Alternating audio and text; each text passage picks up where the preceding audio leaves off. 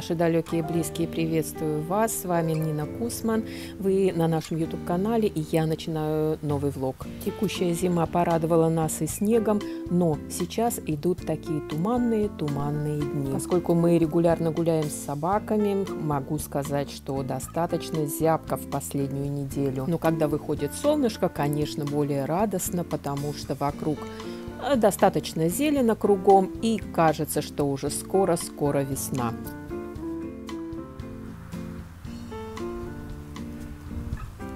Новые саженцы. Интересно, что это? Похоже на абрикосы. Собираются где-то высадить. Посмотрим. Прикопали в песке. Вот обещала вам показать яблочки. Раздолье для местных оленей – все, что остается. До весны им вкуснятинки всякой разной здесь. До весны им вкусностей много разных.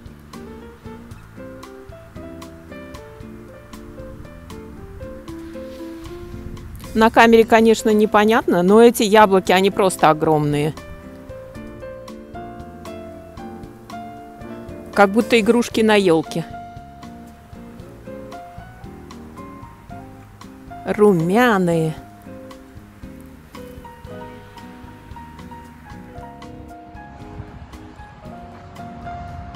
Сошел снег, и посмотрите, обнаружились ходы мышек местных. Их так много. Сейчас покажу. Теперь я знаю, почему под снег засовывают морды наши собаки. Потому что здесь целые улицы. Посмотрите, какие.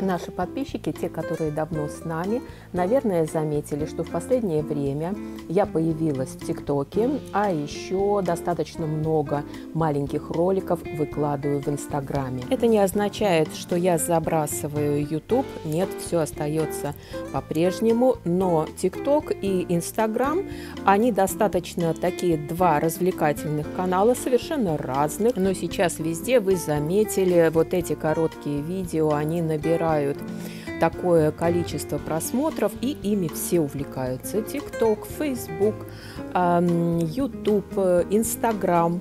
Ну, а почему бы и нет, если это наше любимое хобби. Посмотрите, какие у нас льдинки намерзают за ночь. Достаточно прохладная эта зима, и если прошлой зимой я выходила и занималась чем-нибудь таким приятным в саду-огороде, ну, сейчас достаточно прохладно. Нет, некомфортно. И каждый раз я говорю огромное спасибо своим собакам, которые меня вытаскивают на длительные прогулки. Тони у нас стал совсем неторопливым и катается в коляске. Вполне возможно, что его беспокоят суставы. Я ему купила в очередной раз э, витамины, поддерживающие для суставов. Ну, а Лео, как всегда, он готов убежать далеко и надолго, поэтому все время на поводке. А в последнее время принюхивается еще более тщательно. Скорее всего, животные, которые населяют э, наши соседние леса, перелески и сады, скорее всего, что они готовятся уже к появлению потомства. Ну что, а я? А я уже убрала рождественский декор, и уже, наверное, скоро мы будем готовиться к декору пасхальному. Дом, который снимает мой муж уже лет 12, а может быть уже и больше, по-моему, лет 14, он достаточно большой. Здесь 4 этажа, четвертый – это мансарда. Я четвертый мансардный этаж я приспособила для хранения всякого разного декора.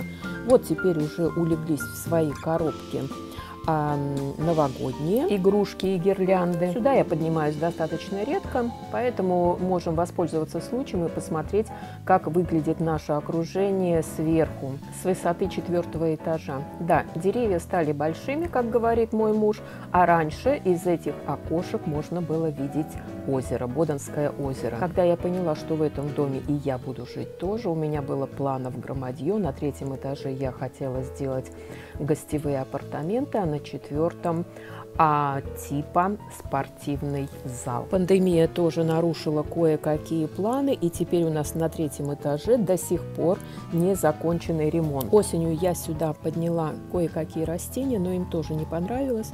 В принципе, они все так благополучно и засохли. Ну, единственное, что здесь тоже прекрасный вид из окон, и отсюда Видите, сегодня опять туманно. Отсюда видно Боденское озеро, из третьего этажа тоже. А я снимаю с удовольствием окрестности, когда я не за рулем, потому что немецкие права я до сих пор не получила. Я закончила курсы первой помощи, я заплатила какие-то нужные для этого пошлины, но далее дело так и не двигается.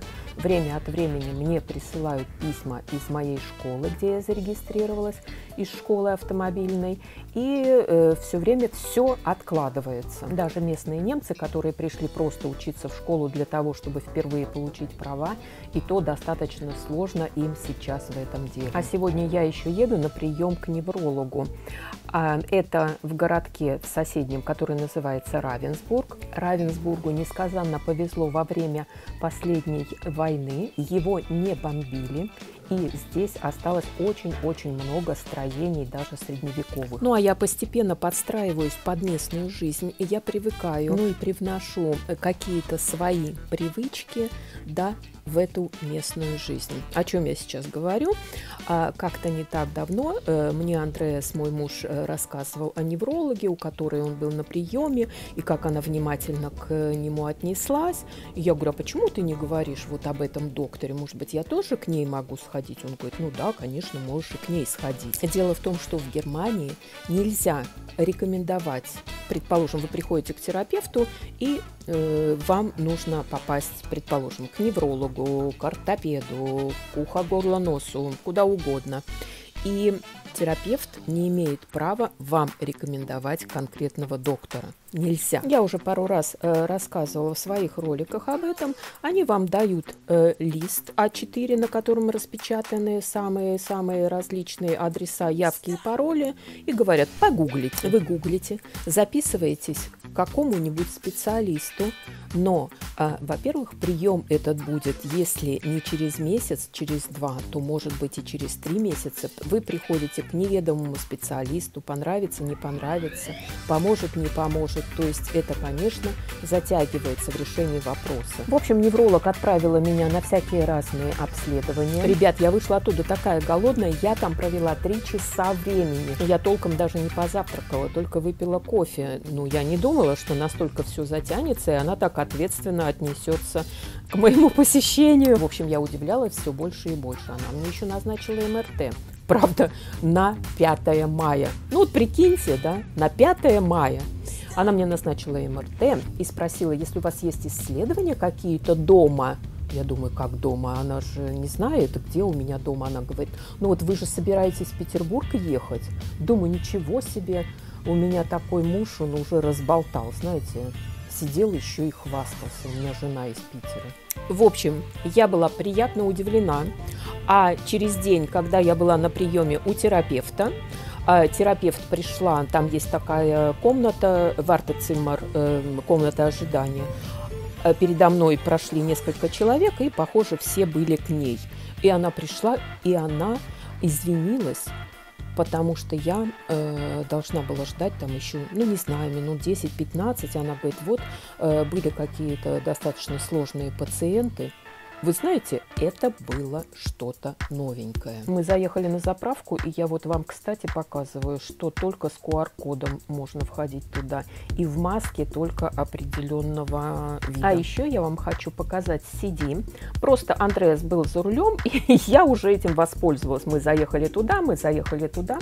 В общем, я делала МРТ э, в одной компании, и представляете, вот они выдают такие CD, на котором э, написаны имена докторов, э, естественно, мое имя, год рождения, месяц, дата. И э, что здесь за обследование? То есть это очень удобно. Время от времени мы же проводим какие-то обследования своего здоровья.